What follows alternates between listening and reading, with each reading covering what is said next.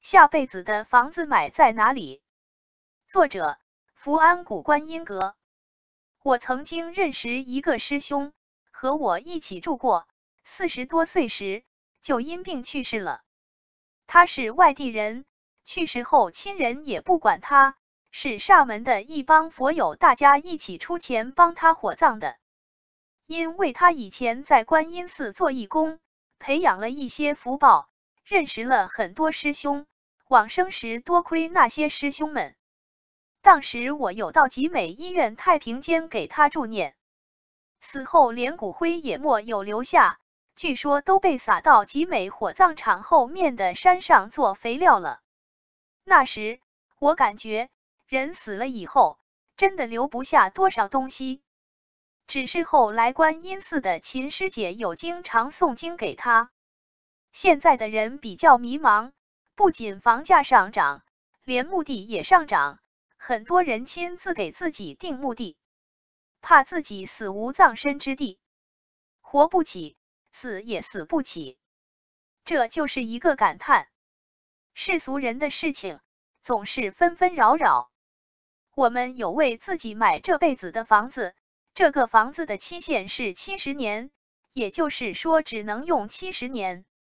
但是我们有莫有为下辈子买房子呢？学佛人最基础的支线就是相信六道轮回，死亡了不是一无所有的，还要经历轮回。当然，如果去做鬼了，目的就是鬼的家，也是相当重要的。但是如果做了畜生呢，猪就住在猪圈，狗就住在狗窝。当然，如果是牛马之类的，只能吃草了。如果这辈子不好好修行，下辈子换了披毛戴角，那么我们的房子买在哪里呢？现在的人都给这辈子买房子，却忘记了给下辈子买房子。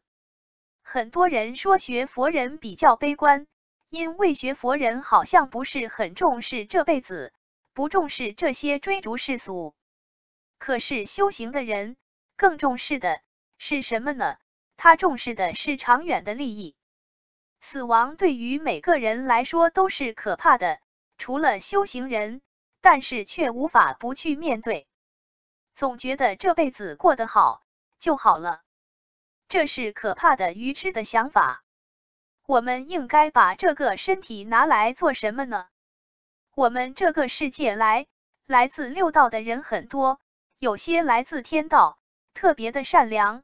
内心光明，福报很大；有些来自的欲道，面目丑陋；有些来自畜生道，不信因果，愚痴无智。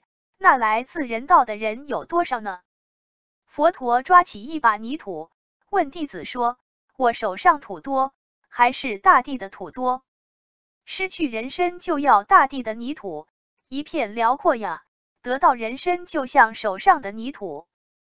虚云老和尚往生后，吩咐弟子把舍利子留下，骨灰和面粉一起撒入大海，和鱼虾结缘，下辈子来度化鱼虾。我在广东时认识一个客户，他母亲也是虔诚佛教徒，和普陀山特别有缘，每年都去，常年诵妙法莲华经，普陀山的每条路几乎都走过，也吩咐孩子。死后把骨灰撒入普陀山的莲花海洋，和鱼虾结缘，他也满足了他母亲的愿望。这是多么坦荡的死亡，多么坦荡的人生！